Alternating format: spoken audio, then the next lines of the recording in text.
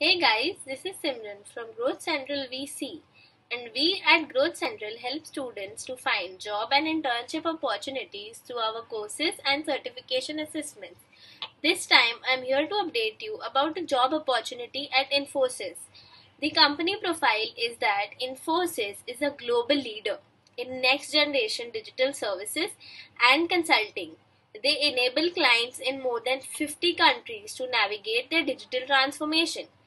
They have over three decades of experience in managing the systems and workings of global enterprises. They expertly steer their clients through their digital journey.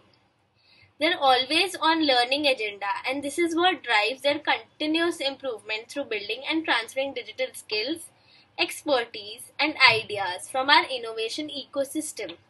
The nature of this role is that of a full-time job and the post is that of a AWS administrator. You can apply to this job by visiting the link in the description box. Also like and share this video so it can reach to the maximum people and also subscribe to our channel to stay updated with many more opportunities like this. Thank you.